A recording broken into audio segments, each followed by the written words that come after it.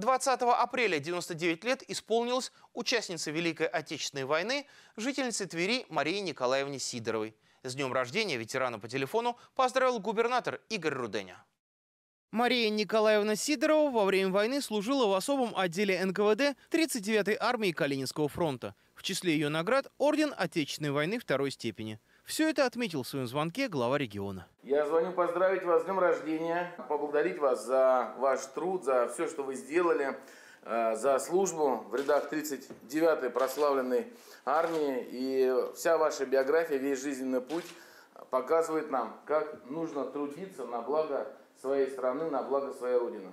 Спасибо за ваше внимание, за поздравления, за время, которое вы мне уделяете.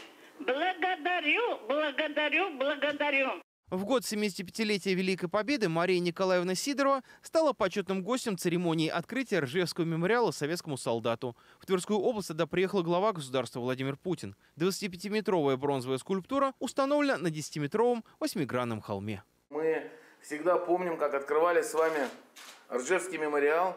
И пожелать вам, чтобы мы еще не один раз с вами его совместно посетили, отметили 9 мая, приближающийся День Победы. Игорь Михайлович, большая благодарность, просто сердечно благодарю за ваше внимание, за вашу чуткость. Спасибо, что вы мне напомнили эти важные события.